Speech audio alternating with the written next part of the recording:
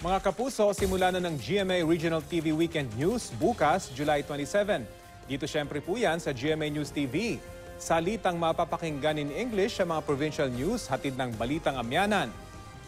Balitang Bisdak, One Western Visayas, at ng One Mindanao tuwing Sabado alas 5 ng hapon.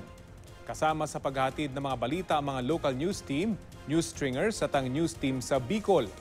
Ang GMA Regional TV Weekend News ang tanging English newscast ngayon ng Kapuso Network.